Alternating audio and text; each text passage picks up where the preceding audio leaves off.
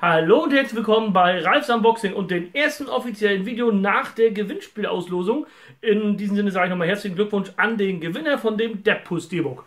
So, und ich habe nämlich ein Paket bekommen vom äh, lieben Björn Kramer.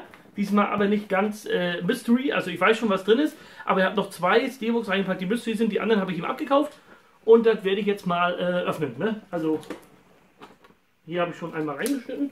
Hier nochmal. Dann hier und hier. So. Das packe ich jetzt mal hier unten hin, damit wir das mal in Ruhe schön auspacken können. Ne, das ist doof. Ich packe das auf die Seite. so. Da sind dann hier ganz viele Zeitungsschnipselchen drin. Erstmal alles am Boden. Oh, das wird ein bisschen so.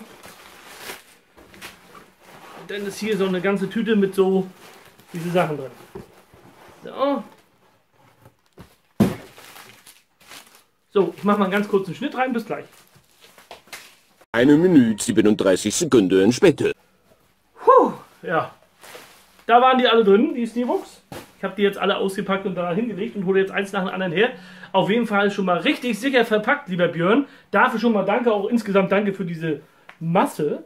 Also, und diese zwei Bonus-Steelbooks. Oh, richtig cool. Das eine habe ich auch noch gar nicht in der Sammlung, den Film. Aber wie gesagt, wir kommen jetzt dazu. So, erstmal zu denen, die ich äh, dann bei ihm sozusagen gekauft habe. So, als allererstes haben wir hier äh, Cinderella von Disney, von Xavi. Ne, das ist Cinderella. Ob die jetzt deutschen Ton haben oder nicht, weiß ich jetzt nicht im Kopf.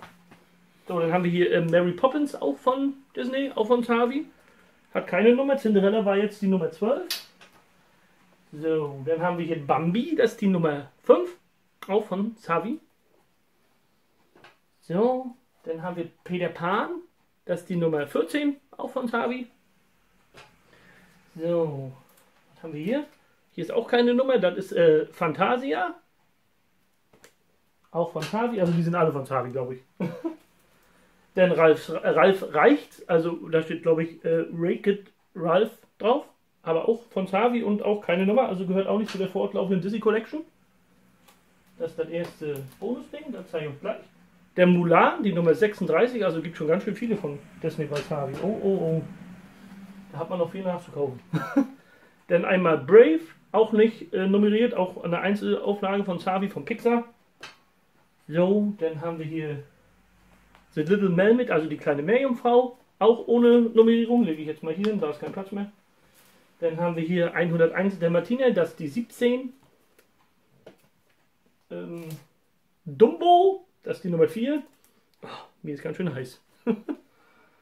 so, dann haben wir hier Planes, den ersten Teil, auch ohne Nummerierung, von Pixar, auch von Savi. Und jetzt die beiden Bonus-Steelbooks. Einmal ähm, Silent Running, den habe ich noch nicht in meiner Sammlung.